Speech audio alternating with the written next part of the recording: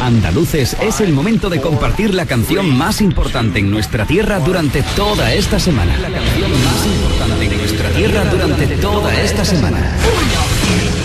Y el número uno es. Y el número uno es para. Rosa, Rosa.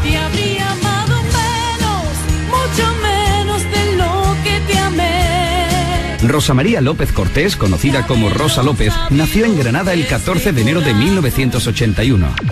En verano del 2001, Rosa acudió al casting de un nuevo reality musical en el que finalmente acabó participando y ganando, erigiéndose así representante de nuestro país en el Festival de Eurovisión con la canción Heroes Living a Celebration.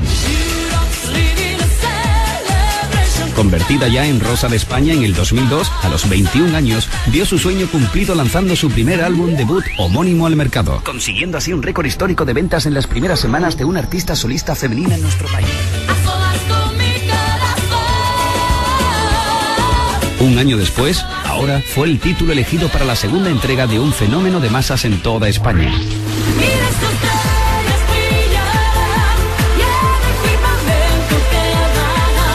2004 fue el año de consagración de un artista que había llegado al mundo de la música para quedarse con el álbum Ojalá. Después de un pequeño descanso, Rosa volvió a sentirse viva dos años más tarde. Me más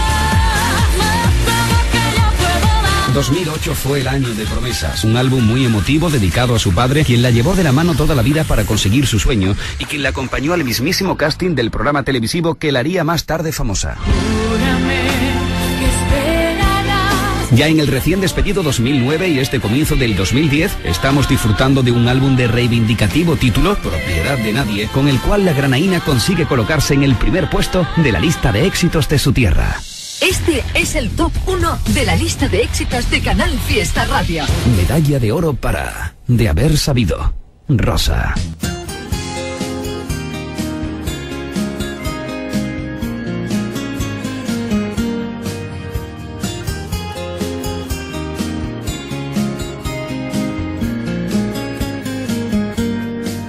de haber sabido que llegaría a serte indiferente después de amarte tanto.